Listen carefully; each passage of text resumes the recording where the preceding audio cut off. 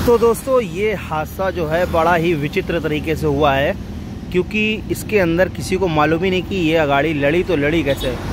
यहाँ पर इसके मालिक मौजूद हैं और उनसे हमने अभी बात करी थी तो उन्होंने हमें बताया कि हमको खुद नहीं पता कि ये गाड़ी लड़ी कैसे। सबसे पहले तो आप देखिए कि गाड़ी की पोजीशन क्या हो रही है। और जो इसका ड्राइवर है, वो ऑन स्पॉट ख़त्म हो गया था, वो बचा नहीं। और जो इसका कंडक्टर था, वो इसके अंदर सो रहा था। तो जब खींच तान करके उस गाड़ी से कंडक्टर को निकाला गया, ड्राइवर को निकाला गया तो ड्राइवर तो नहीं बचा, लेकिन कंडक्टर जो बच गया, लेकिन वो सो रहा था तो उसे पता ही नहीं है कि ये गाड़ी लड़ी कैसे।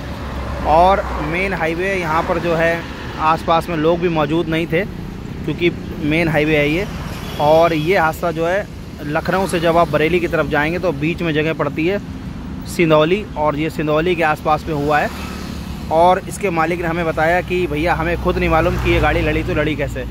तो अगर आमने सामने कोई गाड़ी लड़ती तो दूसरी गाड़ी यहाँ पर मौजूद होती। लेकिन आमने सामने ये गाड़ी नहीं लड़ी है। तो मैंने इनके मालिक से बात करी तो उन्होंने मुझे बताया मतलब मैंने उनको बताया कि ये गाड़ी जो है, पीछे से किसी गाड़ी में टकरा गई है।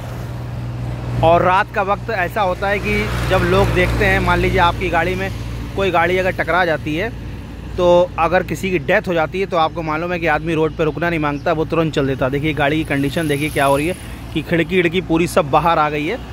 तो यही हुआ होगा मेरे अनुमान से कि ये गाड़ी पीछे से किसी गाड़ी में टकरा गई और आगे वाली गाड़ी ने उतर के अगर ड्राइवर ने देखा भी होगा तो उसने देखा कि ड्राइवर तो बचा नहीं और वो फंस गया अंदर तो वो गाड़ी लेकर के आगे चला गया।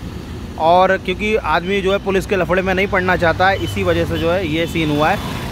तो मेरी सभी ड्राइवरों से गुजारिश है कि ऐसा कभी हो जाए। यहाँ पर देखिए ड्राइवर साहब ने काफ़ी रफ्ता के ब्रेक भी मारे हैं। टायर जो है कतई रगड़ता हुआ चला गया। लेकिन उसके बाद भी गाड़ी जो थी, आगे किसी चल रही गाड़ी में टकरा गई और आगे वाली गाड़ी जो है, वो चली गई। अगर दिन का ये सीन होता तो लोग देख लेते, लेकिन रात में यहाँ पर मौजूद नहीं, कोई मौजूद नहीं था। तीन चार बजे का हादसा ये। उस समय यहाँ पर कोई था नहीं तो इसलिए किसी को पता ही नहीं चल पाया कि ये गाड़ी लड़ी तो लड़ी कैसे। तो देखिए किसी किस तरीके से सीन हो जाते हैं और ड्राइवर बेचारा फंस गया था इसके अंदर। वो तो कही मौके पे पुलिस ने पहुँच जो है ड्राइवर को निकाल लिया था कंडक्टर को भी निकाला गया।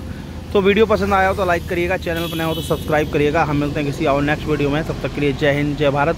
और ड्राइवर साहब की आत्मा को शांति मिले। मेरी ये ईश्वर से कामना है।